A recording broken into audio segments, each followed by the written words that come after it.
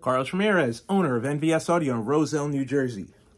So today we're talking about the badass Diamond Audio Neo. This is the MSMB 8.2 Neo. It's also available in an 8.4 Neo.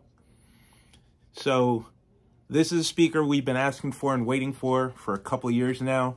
Uh, Diamond Audio has a cult-like following. Um, there's clients that want Diamond Audio. They don't want anything else. They want the entire bite Diamond Audio. And I understand they make a quality product. Um, it's recognizable name brand. They have a great warranty. And they have a vast product offering. The only thing they were lacking was a good mid-bass driver.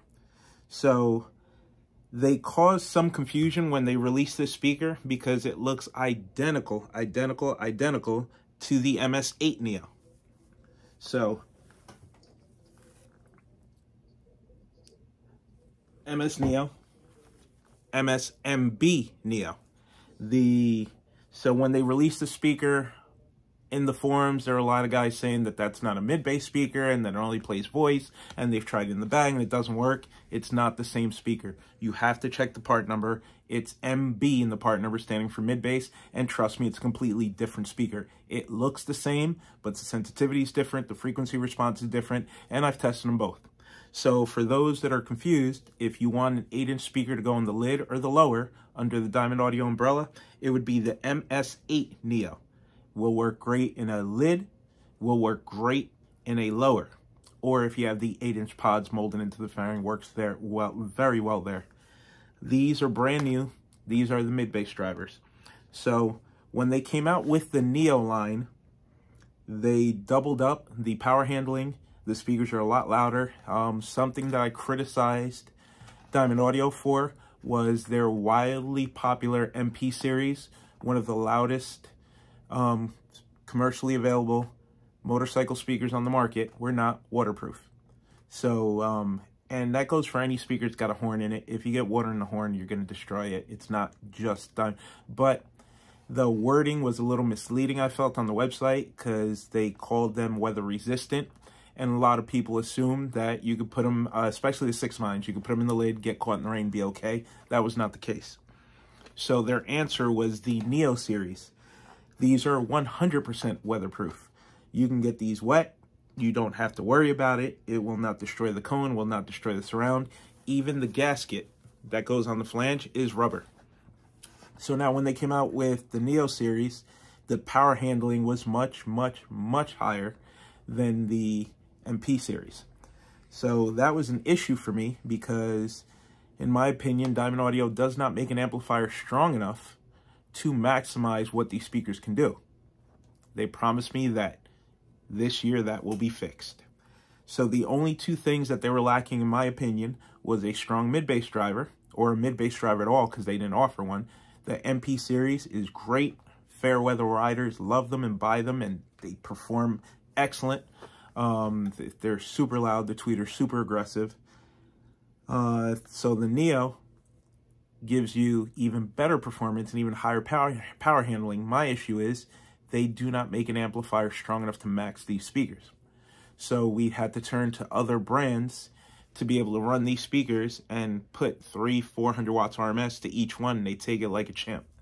So they promised me that they are coming with amplifiers for the motorcycle market, specifically designed to push these drivers and other high power drivers.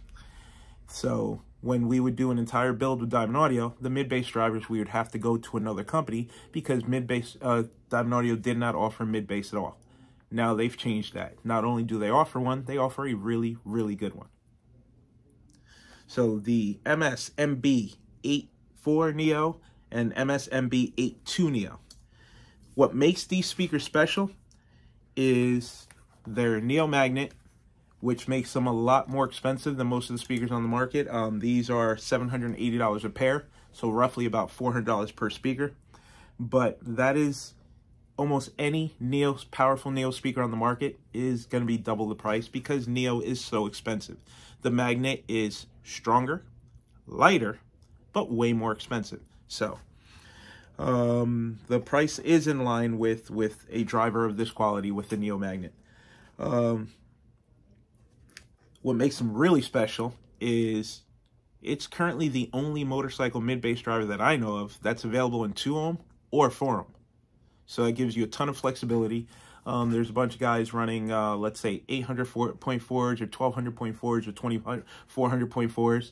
So if you want to, let's say you're using a 2400 to run the front stage and you wanted to use the back two channels to run the eights, it gives you a ton of flexibility because let's say you already have the amp, already have it installed, and you have the 4-ohm version, you could use the back two channels to run a set of these and 2-ohm, run them in series, and get the full power across each one. The 2-ohm and 4-ohm thing, I love. It gives me a ton of flexibility, so I can, if the customer already has an amp in place, I can play around with the impedance to make it match up. No other mid-bass driver for motorcycles that I know of is available in 2-ohm or 4-ohm. Um, let's see. Two inch voice coil. Most eight inch drivers either have a one inch or an inch, inch and a half voice coil. That's where all the power handling comes from because you got to have a big voice coil in, in order to be able to take all that heat, take all that power, all the AC voltage, and propel the cone forward. Um, something that's unique about the Diamond Audio Neo line is the powerful 2-inch voice coil that they use, they use across the entire line. It's in the 8-inch, it's in the 6.5, and it's in the 6x9. The Diamond Audio Neo 6x9, the MS 6x9, is one of the most powerful 6x9s I've ever tested. And when we run them, we use a 1200 to run a pair or a 1600 to run a pair. Uh, if you don't want to be that extreme, you can use an 804 bridged, and that'll still give you 400 watts RMS to each driver, and they take it all day long. So I'm excited to see how much power we can run to the eighths. They have an advertised power rating of 300 watts RMS. Uh, we tested them on a 1600.1, so we're running 800 watts RMS to each, and they took it beautifully. Uh, we have about four hours playtime on the uh, test speakers that Diamond Audio shipped me, and um, they've handled it flawlessly. So we're running more than double RMS, and the speaker, I knew the speaker could take it because we're running that power on their 6x9s. So the 8 would definitely be able to take it, and there was no doubt in my mind that it could. Uh, they have a frequency response listed. The sensitivity is 95, which is really high for a mid-bass driver. And that's one, one, uh, that's one dB less than the 8. So the MS8 has a sensitivity of 96, which makes sense because it's a mid-range, not a mid-bass. And it's got a frequency response of 90 to 10,000 hertz. The mid-bass driver has a sensitivity of 95, and it has a stated frequency response of 60 to 6,000 hertz. Um, what you got to remember about the frequency response of the speaker, if you put in an enclosure, the speaker's naturally going to play a little bit lower. Uh, so we have them, we got them, in our opinion, they sound the best. 12 dB per octave. Linkwitz Riley is what we use when we tested it. 50 hertz to 150. I felt that if I crossed them over higher than 150, they would start to break up a little bit. Not because of power, because they're handling the same amount of power. The lower you play them, the harder it is for the speaker to handle power. They can handle the power just fine. It's just I didn't like the way the speaker sounded letting it play above 150. So it might have been the bag I was using, might have just been the way I had the tune set up, but in my opinion, they sound the best at 50 to 150 with a good amount of power. So I'm talking 400 watts and up. Um, out of all the mid-bass drivers that we've tested, this has been the lightest. So if you're concerned about weight in your saddlebags, but still want really good mid-bass performance, the MS MB 82 Neo or 8.4 Neo is definitely the speaker for you. Um, there's a couple of things I wish they had done a little differently. I love that they have the push terminals, but the hole is really, really small. So, see that? We like to run 10 gauge and 12 gauge wire to our mid-bass drivers, so it'd be nicer to see that hole just a little bit bigger. The push terminals are awesome. The fit and finish, the build quality is perfect. The fact that it's got a rubber gasket helps it seal against the saddlebag. So everything about the design is great. That's one little thing that I wish they would improve on is allow us to run thick cable to give this speaker all the power that it wants. But um, great sounding speaker. Uh, Diamond Audio builds great has a great reputation, solid, reliable product. They have a vast offering. Only thing that we're missing was a mid bass driver.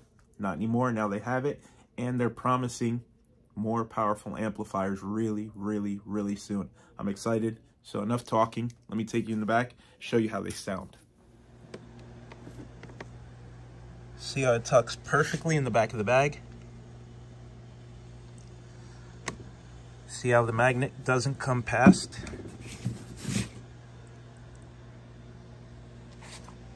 Still have a ton of bag space. And it's a really good looking speaker.